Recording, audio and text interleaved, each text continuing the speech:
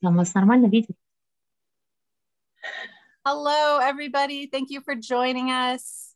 I apologize. We're starting a few minutes late. It is, as I might remind you, a minor miracle that we can all be together. so, thanks to the, the powers of the internet, we're all here in a little Zoom space. So, welcome, welcome. Great to have everyone here. We'll give it just a minute for those numbers um, to tick up so everybody can get into the Zoom space. In the meantime, please uh, use the chat to say hello and tell us where you are watching from.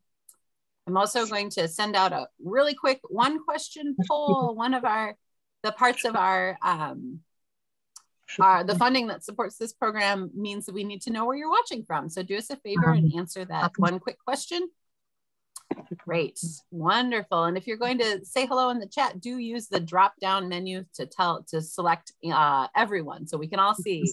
You see folks coming from Minneapolis and Cincinnati and New York, Duluth, and Grand Marais. Wonderful. Hudson Valley, Northeast Minneapolis, Iceland. Awesome. Wonderful. So good morning, good evening, good afternoon, whatever applies here. All right. Amsterdam, Mineral Point, Wisconsin. I know. Wouldn't we all like to have donuts from the world's best donuts this morning? Hello, everyone. Welcome. It's great to have folks here. California. Ooh, it is early in California. All right, Joe Wood from Grand Marais and from Turkey and Vermont. Wow, so fun to have all the, Germany, Nova Scotia. Wow. That's amazing. Awesome. All right. Well, I think we're going to go ahead and get started. Good morning or whatever applies. Good day to everybody. Thank you so much for joining us. My name is Jessa Frost. I'm the program director at a little folk school called North House, located in Grand Marais, Minnesota, which is um, just a tiny bit south of the Canadian border on Lake Superior. Uh, if you haven't joined us before, this North House is a place uh, that was created 25 years ago. Uh, and the vision of the founders was that craft was a way to bring people together, to build community, to encourage lifelong learning and cultural cross connection. I think when they founded the school, they might have imagined that that would happen locally and regionally and maybe occasionally nationally I think they could hardly imagine that we would gather over a hundred people from I don't even know how many countries um, on a February morning to hear stories of textile craft. So it's really wonderful that uh, this can happen. So a few things. We are hosting a series of these webinars as part of our celebration of fibers. We've had students on campus all week uh, doing sewing and weaving uh, ryas and doing Nuno felting. We'll be joined by even more students starting tomorrow who will be weaving on floor looms and uh, doing needle felting and bead embroidery. It's really fun to uh, see the breadth of textile crafts that people are able to, to do. We will be hosting two, three more webinars, one at 10 o'clock this morning, our time, with our guest Tina Sovkina from uh, Russia. We'll be hosting one at noon with Annemor Sundbø, who will be joining us from Norway. And then next Friday, we'll have one last webinar in our series coming from right from Grand Marais from one of our resident artists. Uh, I would encourage you, if you haven't been to North House or are unfamiliar with our school, we just posted all of our coursework online at northhouse.org for the entire year. And so even if you can't make it to Grand Marais this year, you can take a look and check out all of the opportunities and maybe scheme on a trip to see us someday. Um, we also are open, we'll be opening all those classes as well as an opportunity to apply for scholarships uh, here early uh, next week. And so please uh, consider that and spread the word to anyone who you think would like to gather in a classroom and learn to make things. So a tiny bit of Zoom housekeeping for you. We will be using the question and answer format for this, um, for this presentation. We'll take questions at the end. And so if you have a question pop into your mind, you can use the Q&A function at the bottom of your screen. If you're watching on a tablet or a phone, you might have to tap it to make it show up. Um, but it looks like two little text message bubbles. That's a great place to put your questions because they are easy for us to keep track of. If you have other comments or um, things to add, you can put that into the chat. We'll keep an eye on there. We will drop some links into the chat as well um, that as they come up. So I think that's all of my housekeeping. We will post a recording of this webinar on our website, northhouse.org, um, maybe as soon as this afternoon, um, but certainly within the next day or two. So if you have to leave or if you think of somebody who would love to watch it, it will be available on our website. Uh, the last thing is the presentation will be closed captioned. Um, I think that is happening. And so uh, if that would be helpful, you can check those out on the bottom of your screen. Okay, enough of me. It's my pleasure to welcome Mary Sannerud, who has been teaching felt making at North House for many years now. And she's here to tell us more about our guest today. Mary? Thank you, Jessa. Wow. Hi, everybody. This is such a joy to be able to come together. Uh, one of the gifts of this crazy pandemic time, I think, being able to join from around the world. Um, as Jessa mentioned, it's morning here, but it's evening uh, for Dinara. It's um, 8 a.m. Minnesota time and it's 8 p.m. her time, which means she's halfway around the world. So I thought we could start by quickly looking at a map for those of us who might need to place ourselves. Um, and figure out just where Kyrgyzstan is. So as you can see on the map there, um, it's in Central Asia, surrounded by Kazakhstan, Uzbekistan, Tajikistan, and China. And it's a beautiful high mountain country. Um, it reminded me a bit of the place where I first met Dinara, which was in New Mexico. Um, she came in 2012 to teach a traditional Kyrgyz felt rug making class with three other women. And it was a two week course um, where we were over 100 people.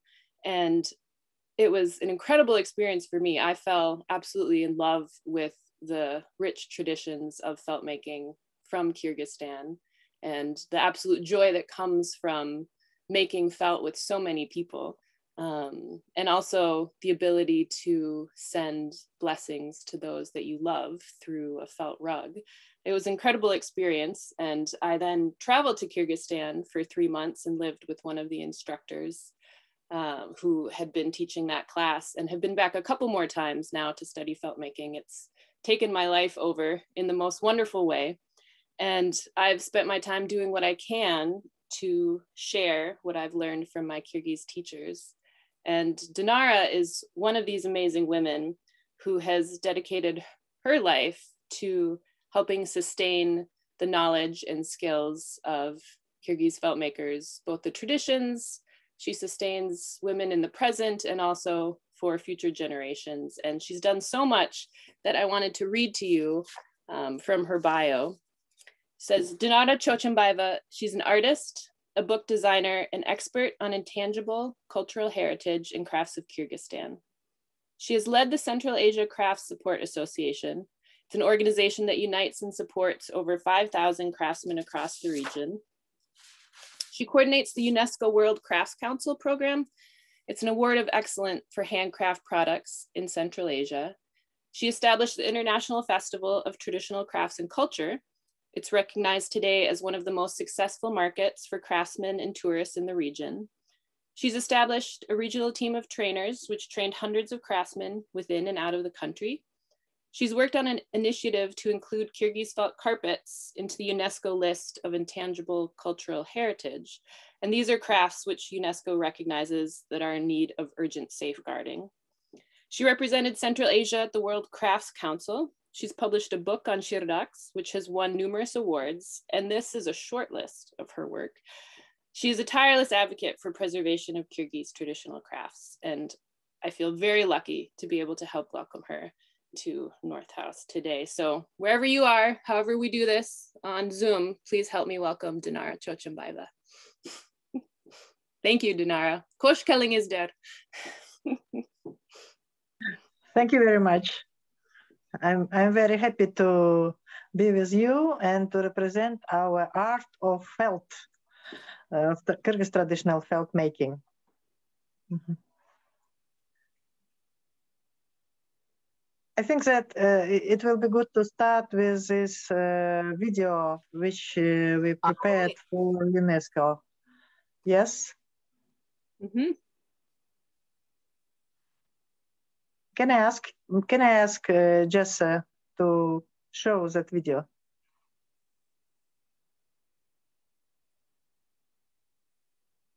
Yes, one second. Sorry. You think you have it all queued up and then it Yes, that video changes things, doesn't it? all right, here we go.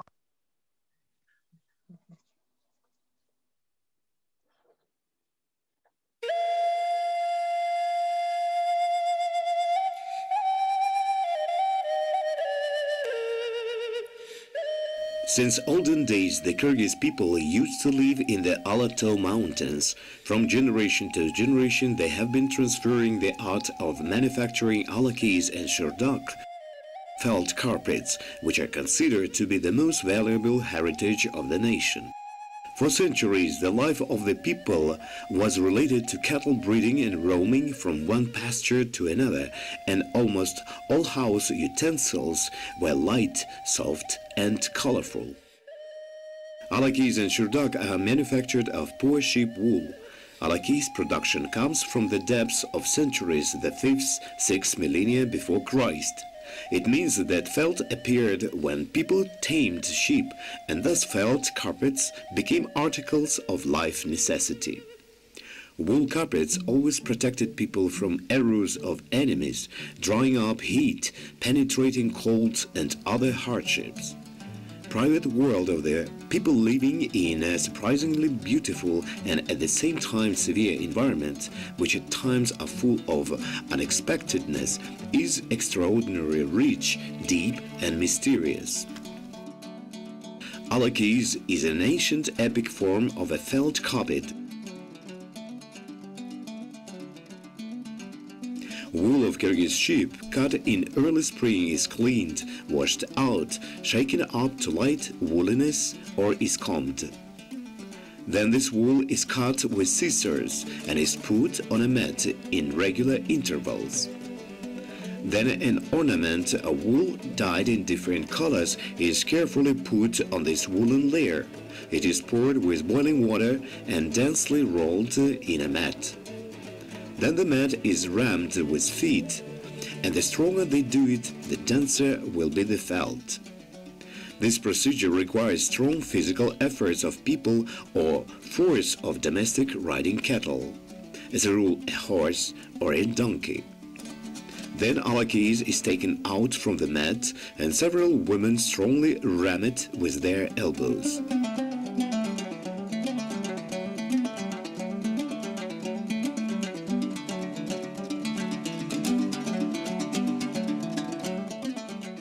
Shirdak carpet is produced in mosaic technique. Felt carpets in such technique were discovered in the Pazyryk archaeological site and were recognized as the most ancient kind of the felt items. The techniques of manufacturing shirdak are much more difficult.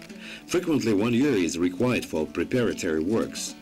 Two multi-colored felt layers are used to produce shirdak. They are put together an ornament is put on the top felt and then it is carefully cut out from the both layers. Then the two patterns are put in one beautiful ornament and their edges are sewed. After that, the sewed pattern is put on the basis of shirdak made as a rule of black felt and the whole carpet is kilted together. Felt copies are created with skillful hands of women, reflecting their dreams, artistic perception of the world, their aspiration for the future, love, and hopes that did not come true. And all this finds reflection in the ornament, which uh, has brought certain information to us from the past. Shirdak is considered to be the most important and valuable article of a bride's dowry, and name of a master who made beautiful Shirdak is transferred by word of mouth.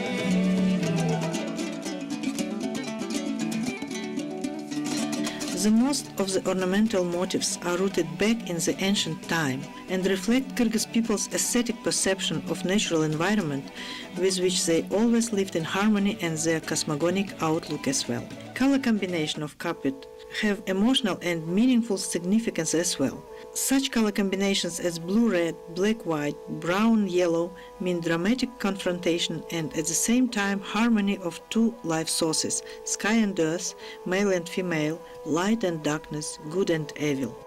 The fact that ornaments were used in old times to tell secret information is testified by legends and fairy tales. Since olden days, uh, this craft has been continuously transferred from mother to daughter, from skilled artisans of senior generations to young ones. However, the modern life has radically changed perception and relations, suppressing those spiritual values uh, which have always represented the wealth of the nation.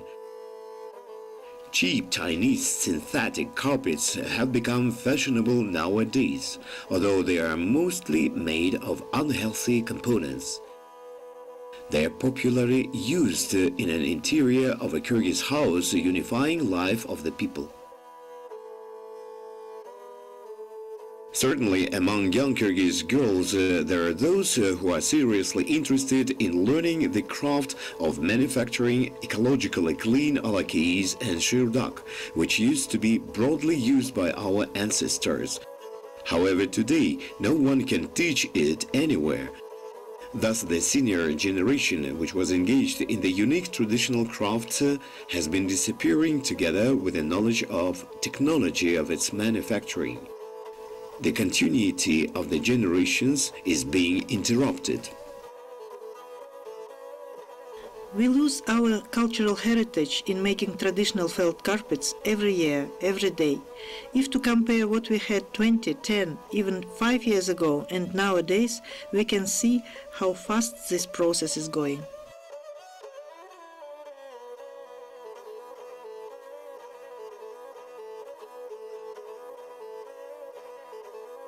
Danger of traceless loss threatens Alakis especially. Practically, you cannot meet them in big cities and in towns. Today, with development of tourism in the country, our shirdaks, produced by masters manually, definitely cause big interest of foreign visitors. Despite very high prices, they all are well recognized and are in demand among tourists. But it does not say the situation characterized with reduction of carpet manufacturing. Shirdaks made of natural wool are much more expensive than synthetic carpets. But so far, the local people, as a rule, choose what is cheaper and do not think about the heritage of our ancestors. Festivals and exhibitions of felt carpets are regularly carried out uh, with support of various international organizations. These activities force the government and the civil society of the country to pay attention and to take care of this problem. Of course, it is not sufficient in the situation when every day the life current carries away the knowledge of this craft from us, like rough water carries away a tree leaf in a prompt stream. We are losing our Kyrgyz intangible heritage, our national spiritual value. In the near future, the state should develop a complex of measures aimed at preserving Alakis and Shirdak and these measures uh, should be implemented as soon as possible. After all, the art of creating felt carpets is the great heritage transferred from one generation to another as a holy symbol of the nation, and we must do our best to save up this value.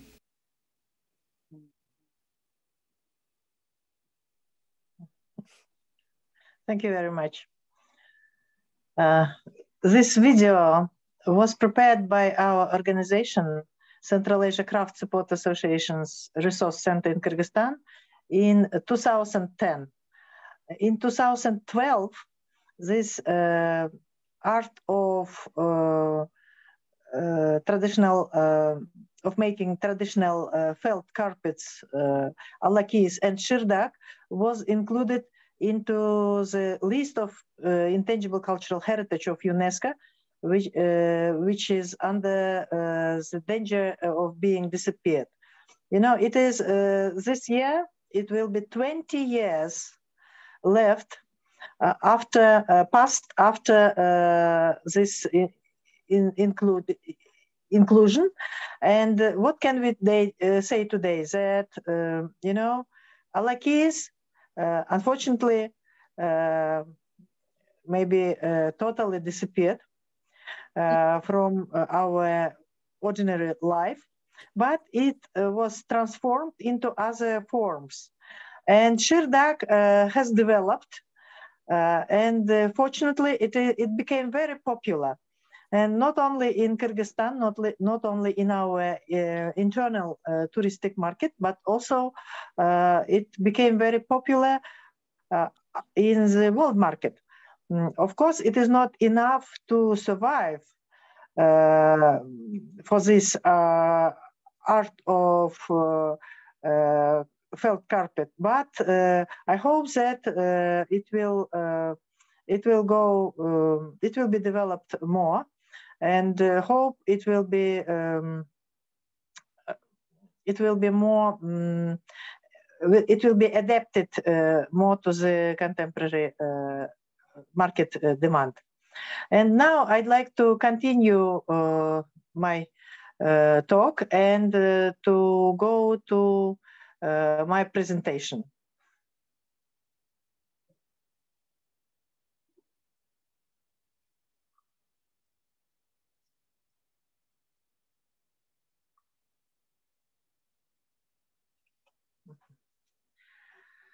So Kyrgyz felt in the past, present, and future, traditions, problems, and perspectives.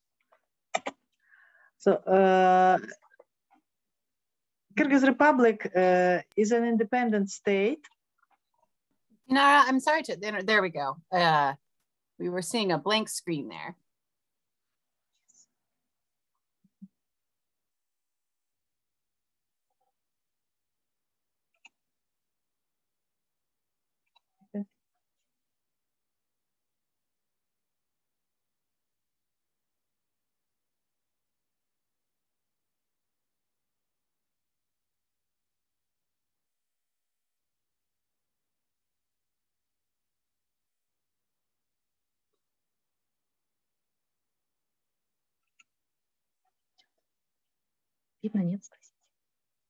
Do you see? Do you see? We do see it. Yeah, it maybe needs to be so um, in a full screen mode. So, but this would work too if we need to do it this way. It never works as well as it did five minutes before the presentation starts. Is it fine now? Uh, we don't have it now. But we also don't see you. there it is. Okay. And then try, yep, just one more slide and we'll make sure it doesn't sorry. turn gray again. Sorry. Uh-huh.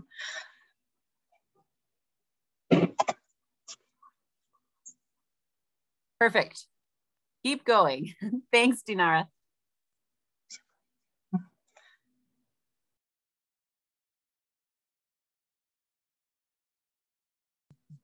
Okay, so uh, Kyrgyz Republic um, at the moment is an independent state in the heart of Central Asia. And we have area of uh, 200,000 of square meters and population of about 6 million people. And um, representatives of about uh, 100 different uh, ethnic groups live in Kyrgyzstan of which 73% are Kyrgyz, uh, represent Kyrgyz ethnic. Um, and uh, in on territory of Kyrgyzstan, there were three branches of the Great Silk Road in past. And Kyrgyz people are nomadic uh, people with an ancient history. According to one of the legend,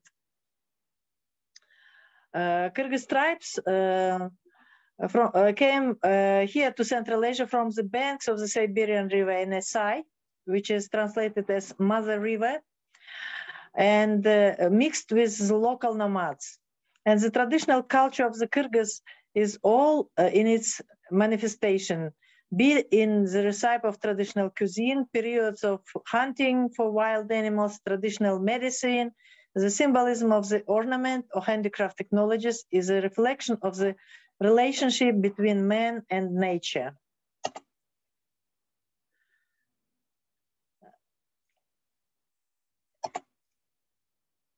And the close connection with the surrounding nature predetermined the cosmogonic ideas and beliefs of the ancient Kyrgyz pastoralists and hunters who uh, defied the forces of nature and worshipped the spirits of their ancestors.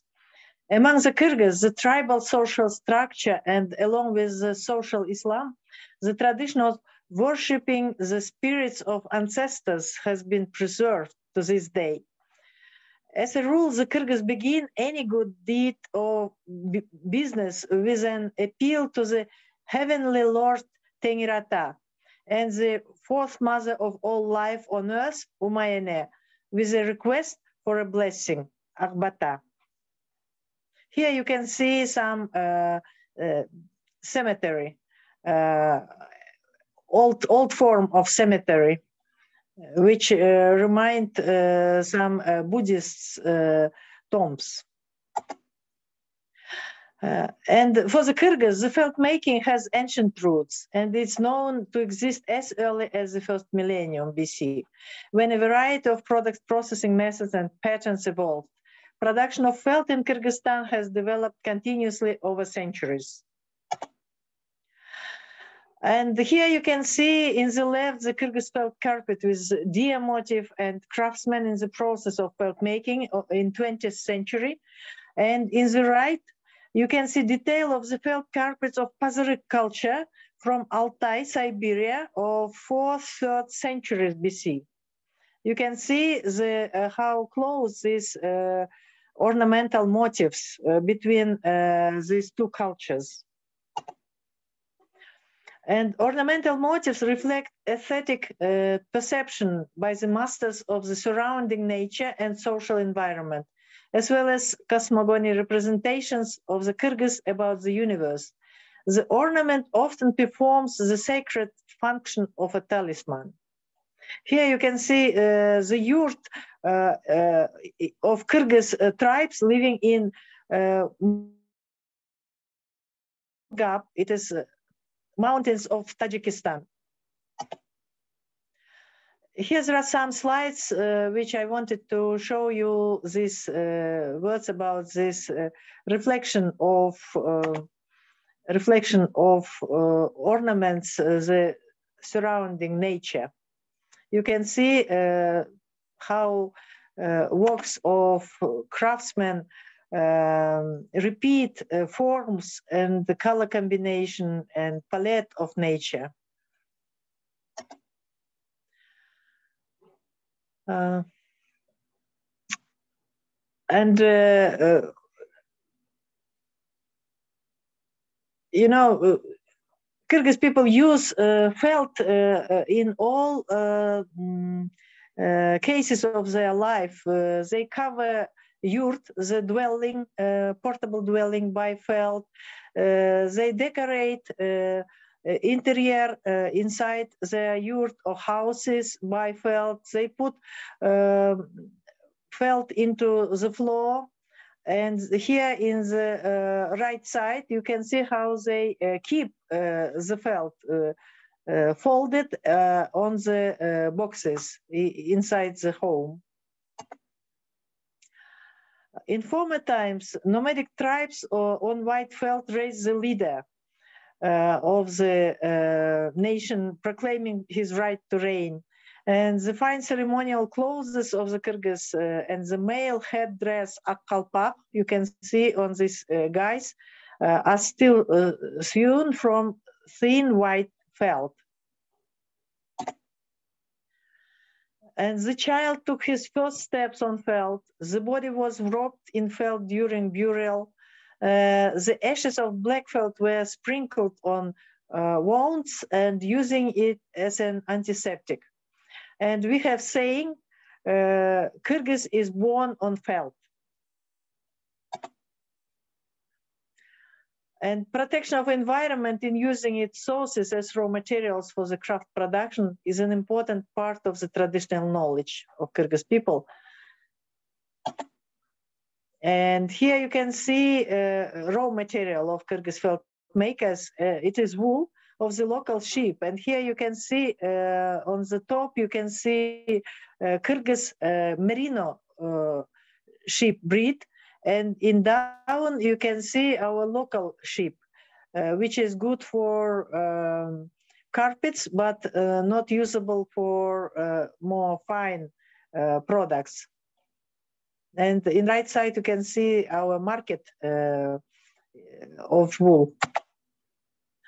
And uh, as for uh, natural dyes, uh, at the present days, uh, people mostly use uh, chemical dyes, but we try to come back and to teach people to use local plants and minerals to uh, revive uh, traditional knowledge uh, about dyeing by natural resources. And here you see processing of wool from the very beginning. And that was seen by you by uh, uh, on that uh, film, video film. It is very hard work and it is mostly done by women, actually, but men also take part uh, but mostly when they uh, work with uh, breeding uh, sheep and cutting wool and uh, making hard work, but uh, the main work of pressing and making carpets, it is done by women.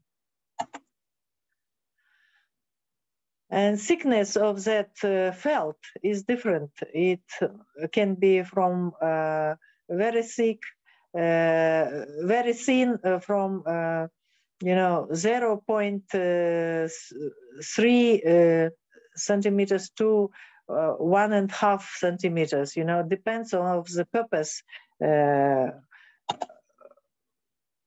and um, what is done to um, promote uh, felt it is some ngos and uh, some NGOs made uh, prom promoting uh, felt making on TV program and publications. And as uh, Mary said, already we published a book, Shirdak, uh, which you can buy. Actually, it we have this uh, electronic version of this Shirdak. it is 360 pages, and it is kind of encyclopedia. At this moment, it is kind of encyclopedia of Shirdak. And uh, you know, if to talk about our traditional uh, felt making, so we have uh, most uh, most known uh, forms of our felt felting. It is uh, felt felt carpet. It is alakis. It is pressed felt carpet when um, this ornament is put by on the um, wool basic by uh, also again uh, carded wool uh, and then it is pressed it is rolled and pressed.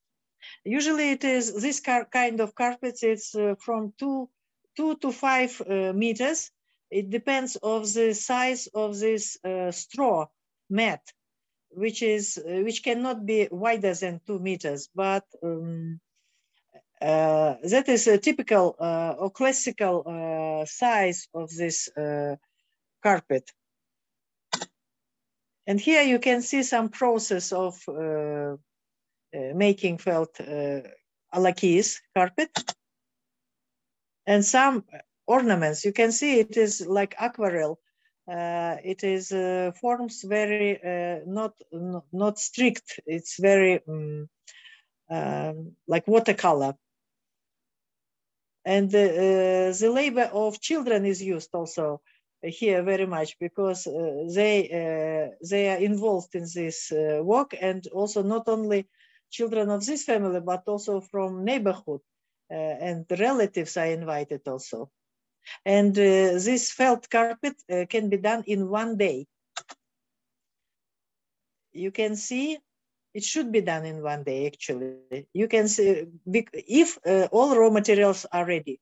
Uh, you can see here uh, alakis uh, of uh, just neutral uh, felt not dyed and here this is from south part of Kyrgyzstan. Color combination is very bright. So it is very different, different uh, design. You can see. Depends uh, the region and the taste of producer.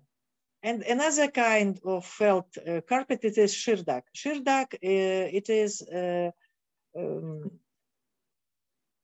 technique, uh, mosaic technique. And actually in this uh, carpet, uh, people use several, uh, several different techniques, but uh, preferably it is mosaic technique and um, um, quilting in the end. And uh, you know, this is when uh, you've seen this uh, movie, it was told that local population is not able to buy it at the moment because it is quite expensive. Yes, at this moment, uh, the one square meter uh, of shirdak costs from 50 to 120 dollars per square meter. So, which is uh, actually uh, expensive. And uh, the tradition to give this, this shirdak as a part of dowry to daughter it is uh, kept by only by uh, masters who can produce, but in uh, citizens already lost that knowledge. And only women from countryside, they produce these shirdaks and they can give uh, to their daughters this dowry, but not citizens. And citizens, only very wealthy people can buy this shirdak for their daughters. And to be honest, uh, unfortunately, young generation does not value it. And uh, they, uh, not everybody can uh, uh, accept uh, kind of gift, you know, as it should be done. And here you can see the process of dyeing. You know, we invite, um, we invite our masters knowledgeable masters uh, who have uh, knowledge uh, how to dye, how to use natural plants to dye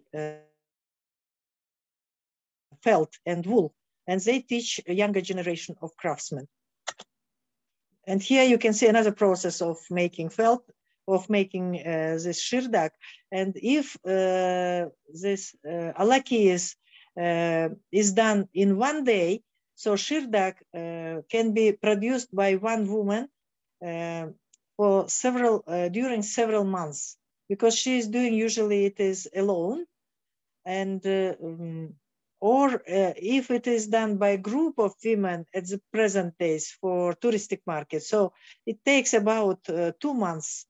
Uh, and if she will do it alone, it will take about seven, eight months to make one shirdak uh, by size uh, two to five meters.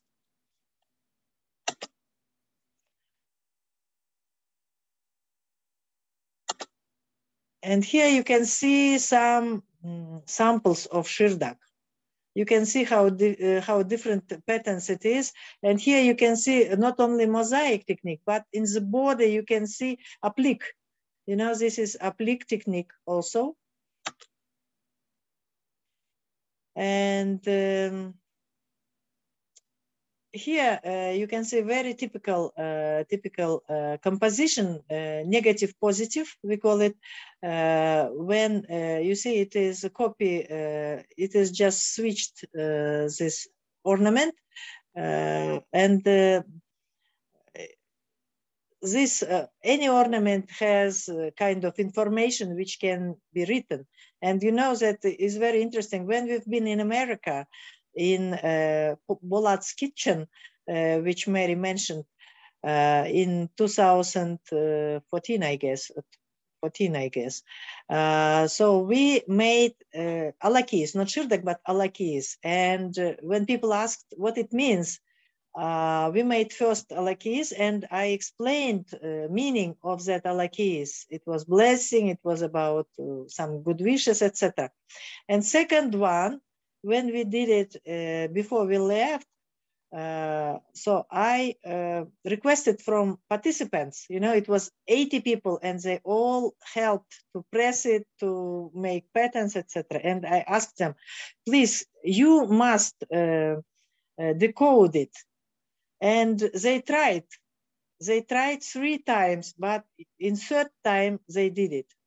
And that was amazing because they read the carpet and the, um, you know, uh, wishes which was uh, in, inside that uh, patterns which I uh, made, uh, and they read it very perfectly.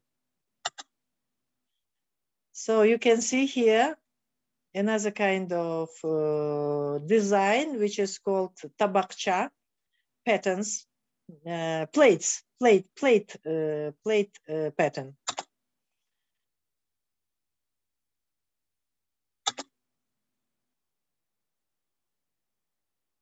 this is this uh, design is called uh, um, oh I forgot the, the word. Cloud. cloud yes. This is also interesting pattern. In uh, in the middle you can see also applique uh, if around it is mosaic, so inside on the black uh, on the black basic, you can see um, multicolored uh, triangles uh, made in applique uh, technique.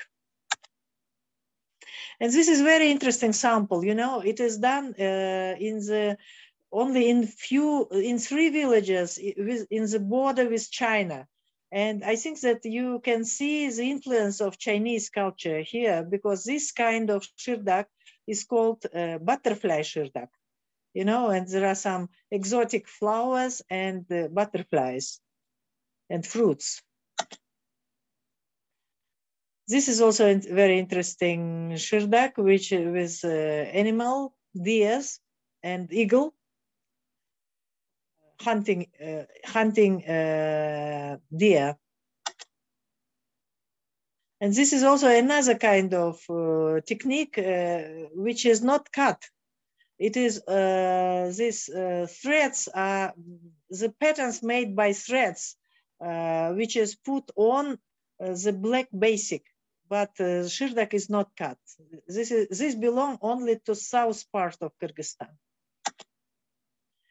And here is uh, also very interesting thing that uh, craftsmen as uh, all over the world, they never like to throw uh, any piece of felt because it is done by uh, so much uh, troubles and it is they cannot they cannot throw it away so and they use each piece and make kurak, kurak shirdak, which means patchwork shirdak. And this is very interesting shirdaks uh, with these uh, images of animals. And uh, people usually not put them on the floor, they put it on the wall, you know, to keep room uh, warm. This is very good and uh, they don't uh, put step on it. And here uh, there are some patterns. You can see very different patterns uh, where you can see some motifs of flowers or animals or horns. And uh, here also some, um, you know, corner, which is also very interesting. And here you can see tree of life which is used uh, in this uh, patterns. And here, uh, some um, this is uh, how people, uh, you know, every uh, this this felt carpet should be saved uh, in summertime they people put it on sun it's against moth, moth. And in wintertime, they also put on snow and in summertime for sun. So they, they, that is a way how they protect uh, this wool of moss. Uh, why we um, applied to UNESCO? Because, you know, in 2010, it was such difficult situation with felt carpets. So people started forgetting uh, this value of our um, heritage and they uh, started, uh, you know, to to make very bad attention to these carpets. And then we decided to uh, try to inscribe it into UNESCO list of intangible cultural heritage. And uh, we prepared this, we filled this nomination file and uh, it went, it was inscribed.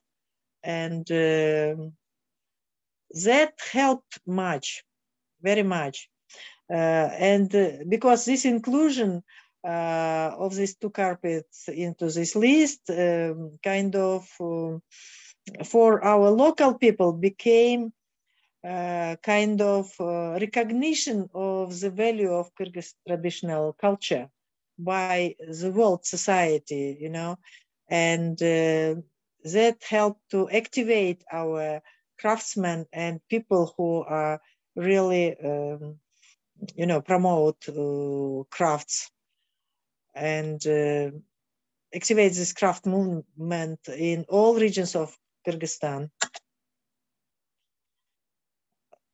Uh, you know, the mostly these uh, carriers of the felt traditions uh, are rural women and uh, particularly living in countryside and the typical portrait of the felt carpet maker is rural woman in her age of mid of 50s. Um, and they work individually or in co-ops. Usually they uh, unite in co-ops or within family groups. Here you see very famous our craftsmen uh, who are known all over the country and as the best felt uh, producers, felt carpet producers. And of course, we try to uh, we try to um, transfer uh, their knowledge to younger generation uh, through workshops uh, and international organizations uh, support us in this when we make trainings uh, to invite and to the best uh, producers. And here you can see Mary and uh, how she came in Kyrgyzstan in slide and in down. it is Golat's kitchen in New Mexico. Uh, it's last year when our three girls went there to finish our shirdak, which we started so many years ago. And at last they finished this next uh, last year. Uh, you know, since 2010, uh, in Kyrgyzstan, there is a felt carpets market, special, special Shirdak uh, festival, which is organized annually in Atbashi or Naryn province, uh, which, which, uh, which is recognized as the best Shirdak producers area and all people who love Shirdak or who would like to make, uh, to buy or to make connections uh, or who make uh, business with Shirdak, they come there. It is every June, end of June, we have that Felt Shirdak, uh, Shirdak festival.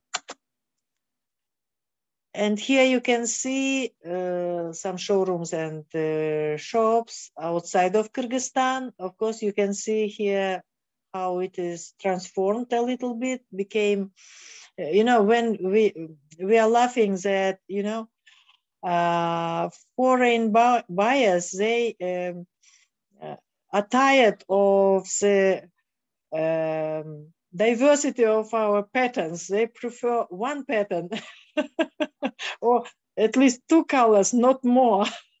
you know, uh, it is difficult to accept all this uh, diversity of um, color combinations and uh, uh multiple colored uh, palette, uh, which Kyrgyz like. So here you can see very um, simplified versions of Kyrgyz carpets in different countries of the world.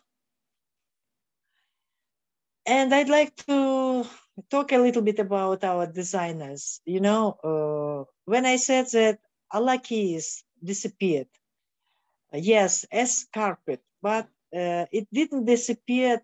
It doesn't disappear as technique. This Alakis technique uh, is developed, uh, but in different forms. Here you can see very famous our brand Seven Sisters, and uh, which is known uh, internationally. And the leader of this group, Farzana Sharshimbiyeva, the designer, she works with American designer. Um, um, oh, sorry, I forgot her name. A very famous American designer. Um, not sorry, maybe I will remember later. Uh, you can see her tunics uh, and uh, dress, which she made in technique alakis and nuno felt with silk and felt. Here you can see also some contemporary designers who work with felt, it is Burul Mambetova and Altynai Osmoeva, uh, who use this felt by different ways and they are also demonstrated in different uh, fashion shows, not only in Kyrgyzstan, but also all over the world. And they are, uh, have uh, uh prices. Uh, uh, for example, in the middle, this Burul Mambetova, she got Grand Prix in Paris, and this in in two left and right, you can see some felt coats of Altynai who got uh, silver prize in Milano. And here you can see also other, other designers, uh, different designers who made some uh, interior uh, products of felt uh, with some embroidery or uh, in Nuno felt, some accessories, fashion accessories. In left side, you can see family who made this felt product. They are three, years mother and two daughters. They made everything from felt, but um, mixed with uh, textile.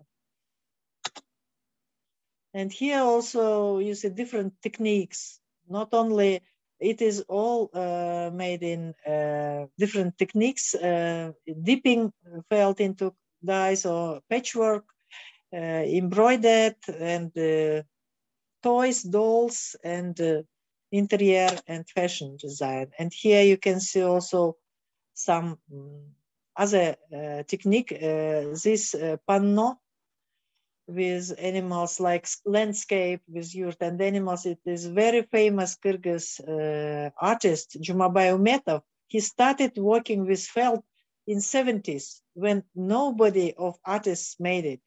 And all artists laughed on him and they said, oh, you are artisan, not artist, you know, but he made this huge panno. It is like seven meters uh, to four.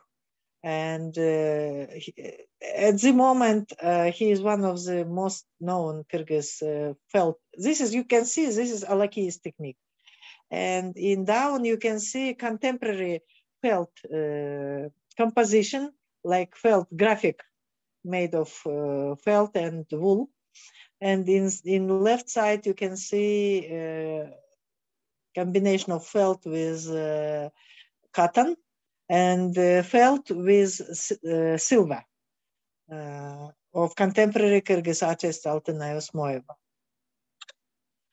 And what is done by our government? Of course, our government tries to do uh, something uh, to preserve and to protect, uh, but to be honest, not not much and most of things which is done uh, uh it is done by craftsmen themselves or uh, ngos uh, with the support of international uh, organizations.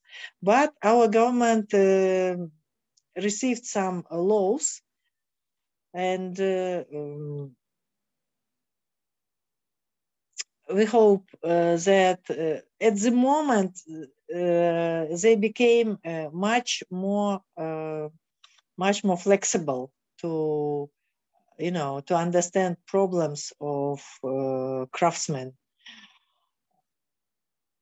And the most uh, difficult thing, the, you know, what is really should be changed, it is that this knowledge of craftsmen, uh, in, this knowledge and skills are not included into the curriculum of the formal art and culture institutions in Kyrgyzstan.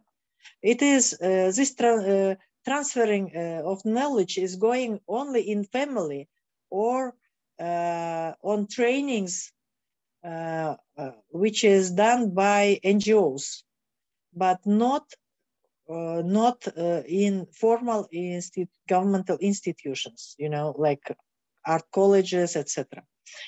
And um,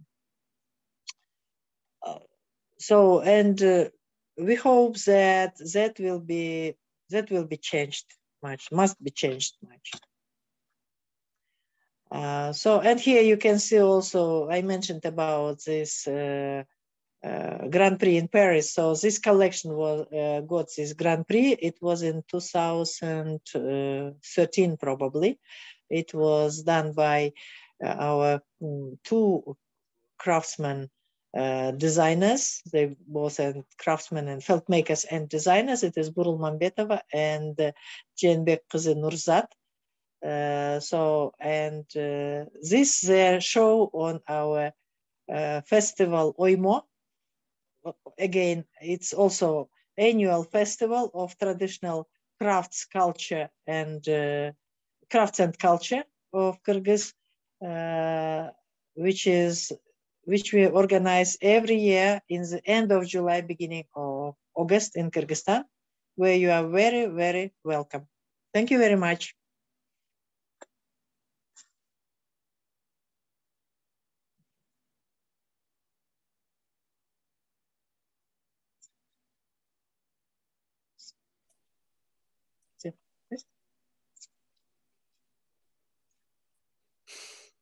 Thank you. That, Yes. Do you want me to show that video?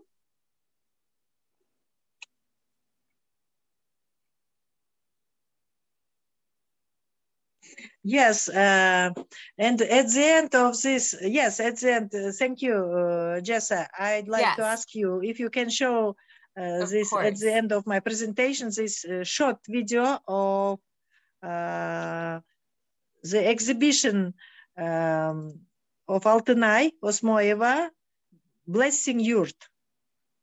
Perfect. I will show that and then we will take questions.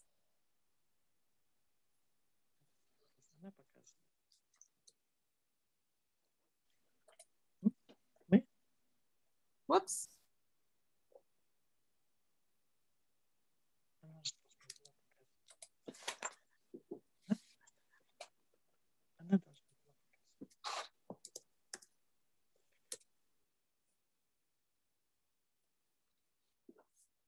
Dinara, I think you are sh sharing your screen with the video.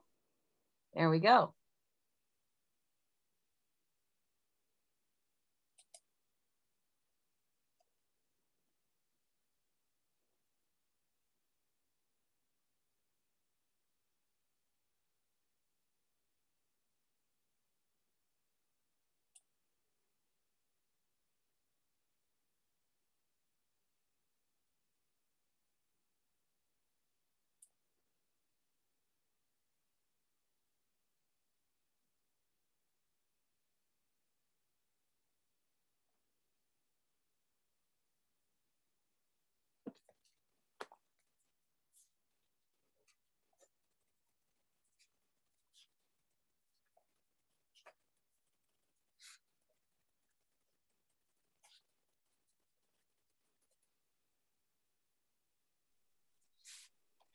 Do you have voice?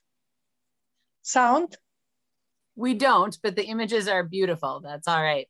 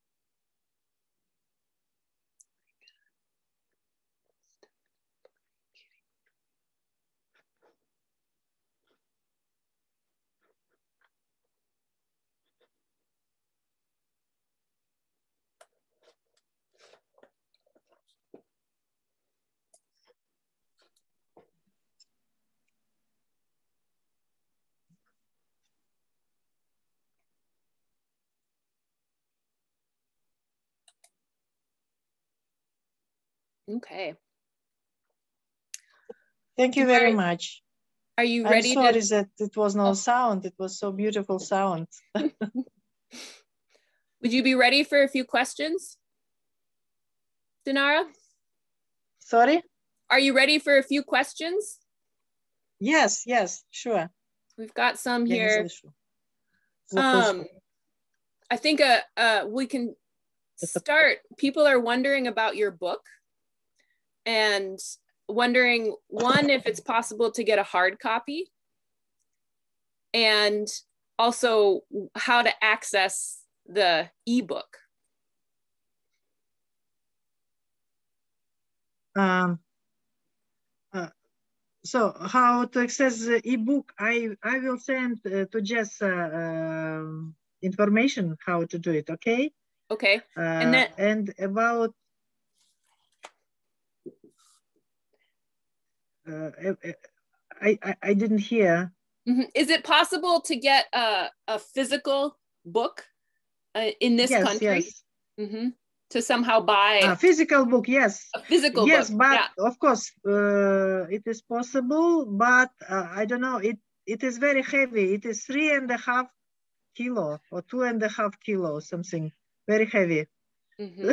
so if because it is very expensive to post it you know mm-hmm. if it will be um, i don't know if it is not a problem so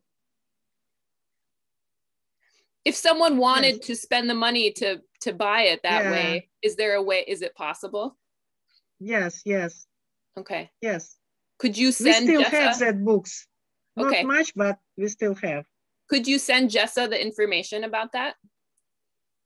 Yeah. Okay. Um, great. And then we have a question here about patterns about the OIMO. They're wondering if patterns are, um, if they're passed down from older generations, um, or if if the pattern makers are creating new patterns and how that works. Mary, I don't hear. It is oh. very sound is Shoot.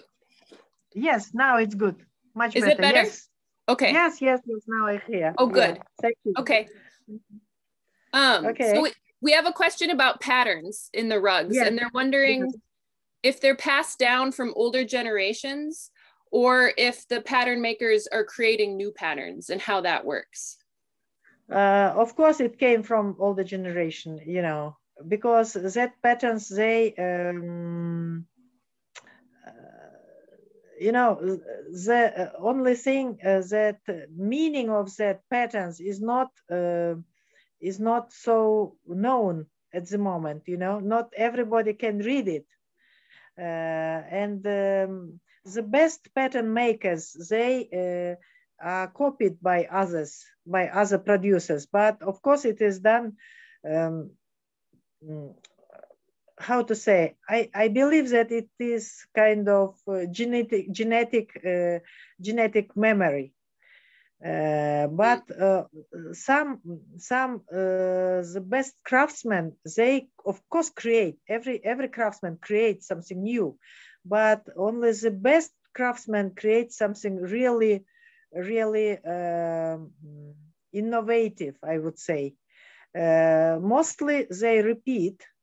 The patterns I showed you, this is really extraordinary, most of them, you know, mm. because we made that research and we chose uh, the best uh, patterns to, um, I used the best patterns to show you, but there are a lot of patterns which just repeat others, not, mm -hmm. not necessarily, uh, I would say not every shirdak is something really unique, you know, mm by patterns. Mm -hmm. They repeat each other.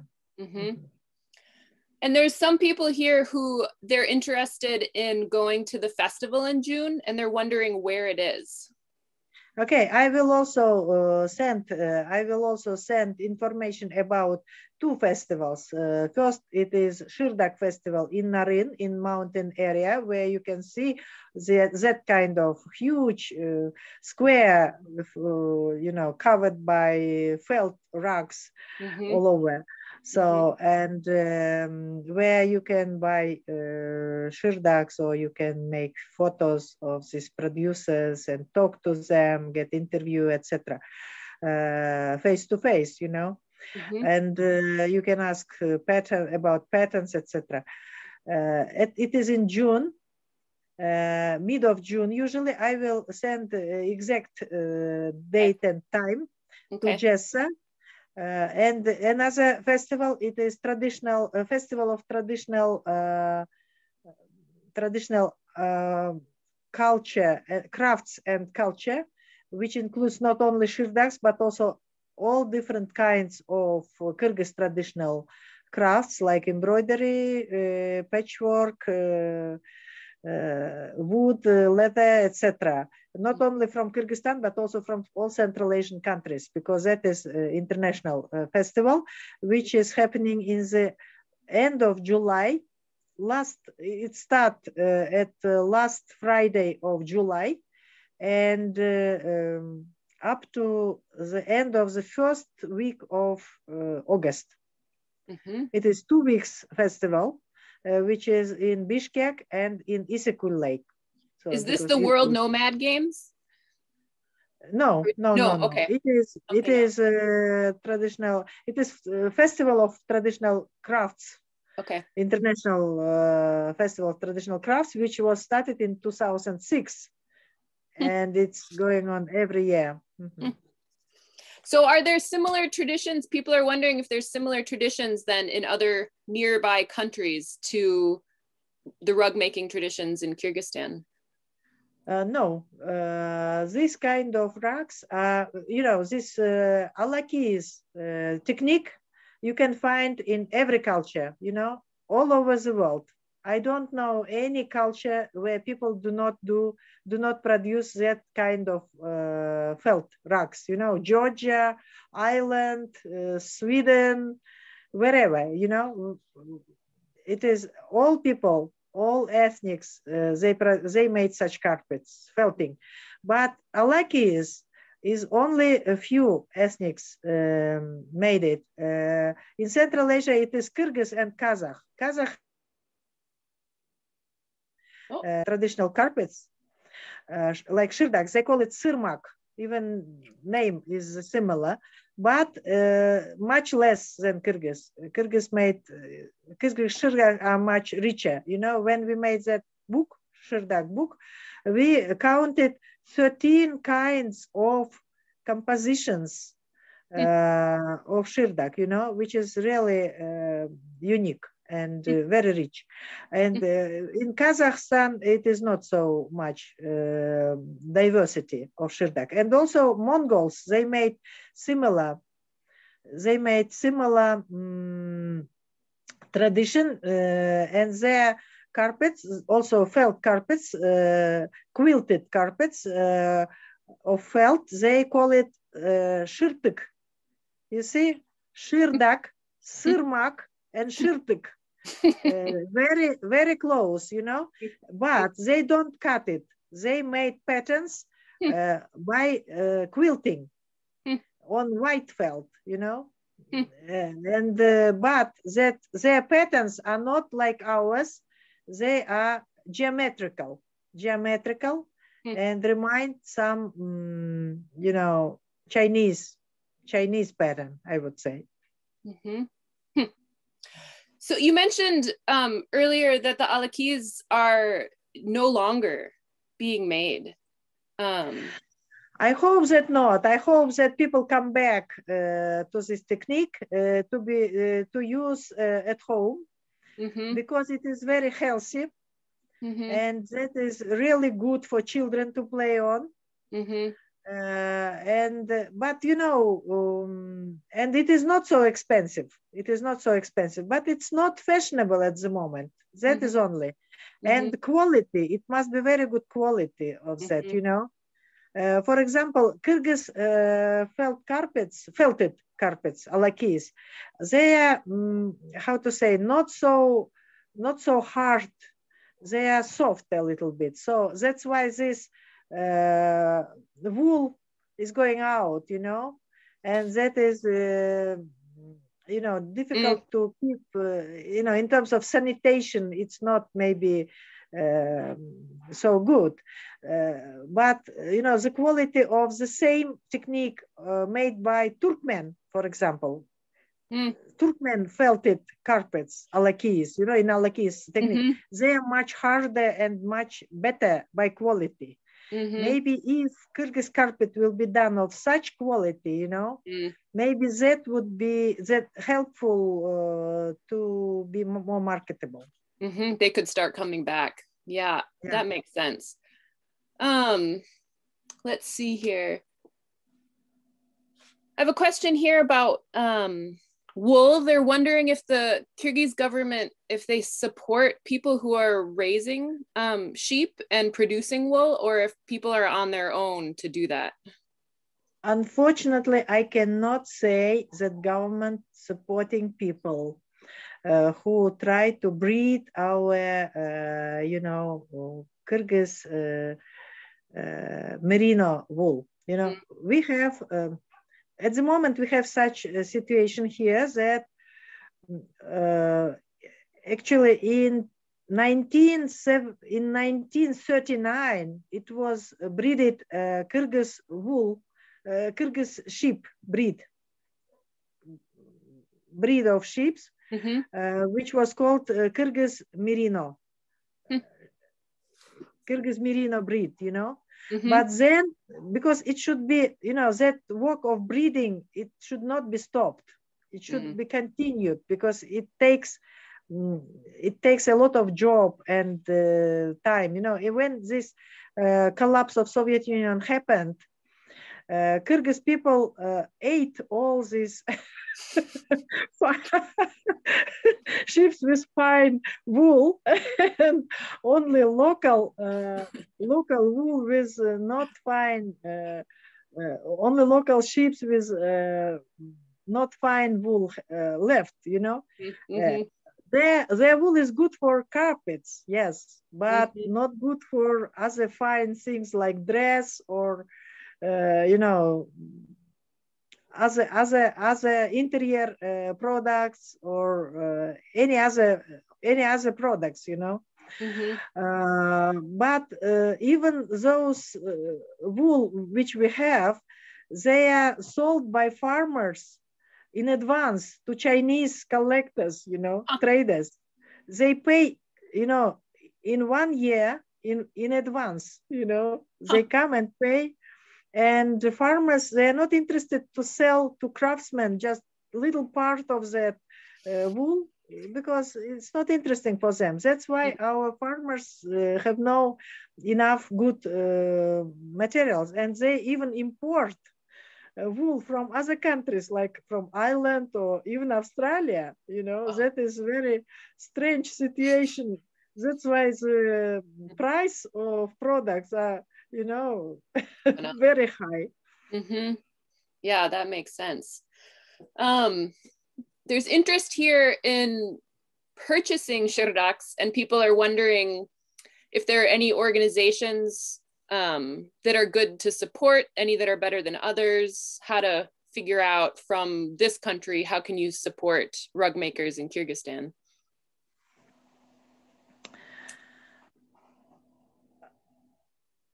You know, uh, at the moment we have um, we have different uh, programs supported by GIZ, for example, or uh, Helvetas, it is Swiss uh, organization, yes, Helvetas, uh, which supported uh, to um, Shirdak producers, you know, and to market their products. But I think that um, the best way is uh, to develop this market, you know, mm-hmm. because market, uh, if it will be market, so this art of Shirdak will be alive. Mm-hmm.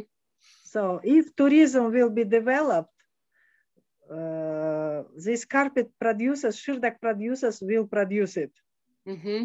For tourists, at, at least. But you know what is interesting? This interest to Shirdak uh, of the rest of the world and the, mm, you know, because Shirdak became very um, kind of uh, very popular in interior decorating decoration as interior decoration in some um, other in some foreign countries in italy for example yeah um, and uh, that uh, impressed our local population you know and it became fashionable here in kyrgyzstan because it is popular outside you know that mm-hmm. kind of influence uh, we can see and uh, it depends of market if mm-hmm. market mm-hmm. will be developed of this uh, felt carpet so and it will be alive but yeah. i think that i make a, a report to unesco uh, about this progress of uh, uh,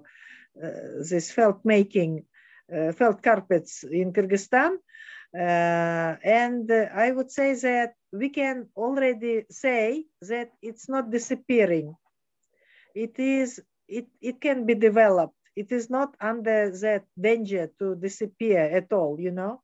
Mm-hmm. It can be developed at the moment if, in case, if tourism will go on. Mm-hmm. Yeah, it's hard sometimes when you're within a culture to see the treasure that you have it helps to see it through other people's eyes yeah mm-hmm. um let's see here so many questions um where should we go someone is asking here about the those mats you were talking about that the alakis are made in and they're curious yeah. what they're made of um and if they're mm-hmm. handmade and if so, mm-hmm. who makes them? Yeah, that mat is done of the uh, kind of straw. It is very thin, um, thin straw. Uh, it is local and that straw is not empty inside. It is full inside mm. and it is uh, only, only um, a couple of millimeters uh, uh by diameter. Mm. And we call it chi mm. and it is uh, you know it is about two meters by you know by long and it should not be cut it it should not be cut it it should be taken you know by hands from the uh, when it is grow because otherwise if it will be cut uh, it, it will not grow and uh, mm. at the moment it is uh, in red book it's very difficult to find out. Mm. And it is only uh, around Issyk-Kul Lake you can find it at the moment.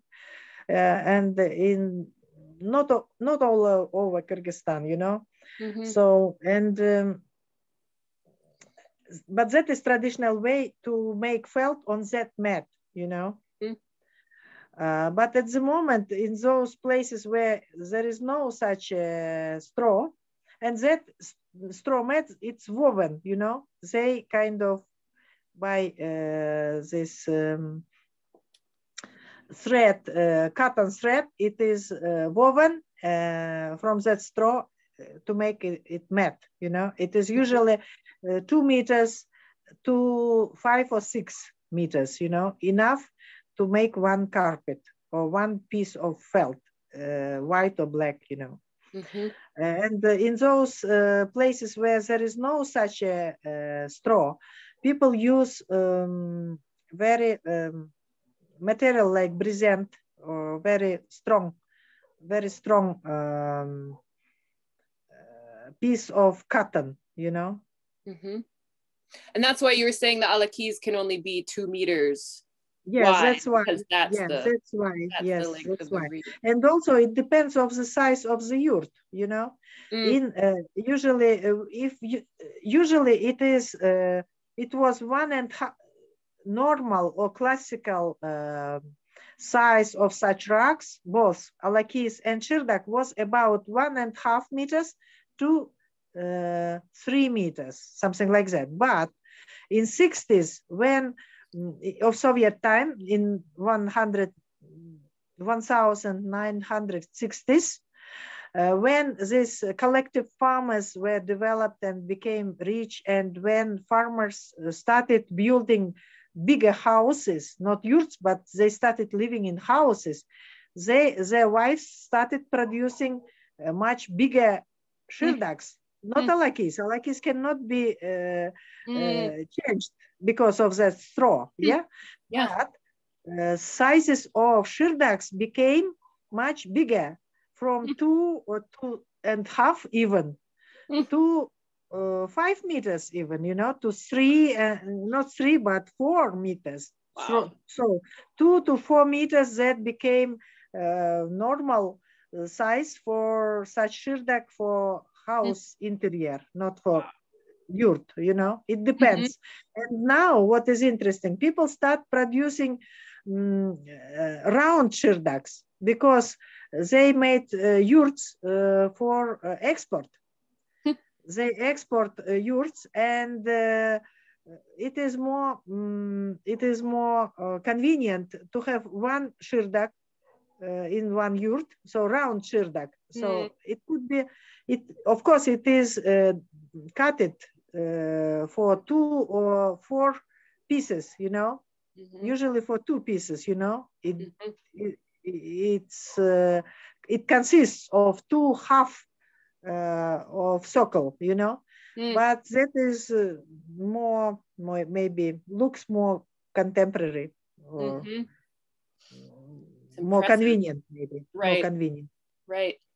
depends on market again hmm Well, there are a bunch more questions here, but it's time to wrap things up. So I'm wondering, Dinar, if there's anything else that you want to share with us um, in closing before we head out here. okay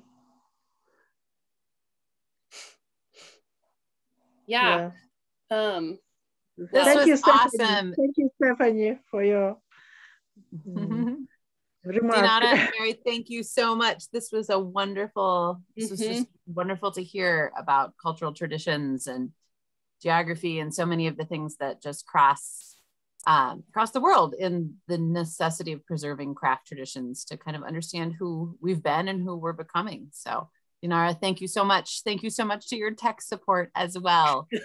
Uh, and thank Mary, you also thank you so for much. giving opportunity for giving me chance to share my knowledge uh, and information with other people who love uh, love uh, felt art of felt making hmm all over the world hmm Yes.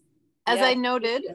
we'll post this recording and it sounds like um, Dinara will send me a few uh, resources about finding the book and possibly some places um, that are export responsibly exporting Shirdak. So I will uh, share that via email, likely next week, um, with everybody signed up for this particular session. So Mary, Dinara, thank you very much. Uh, I hope Yes. I see many of you in about a half an hour for our presentation on Sami textile traditions of the Kola Peninsula with Tina Sopkina. So here's hoping the internet continues to cooperate with us, uh, this time from Russia in oh, just a little while. So Dinara, thank you very much. And oh, our noon presenter, Annemor Sundbø, wanted me to send her greetings to you. She would noted that you both have worked so much together to preserve textile traditions and that you've met each other before. So Cool. Yeah. Take care, everyone. Thank you. Bye bye.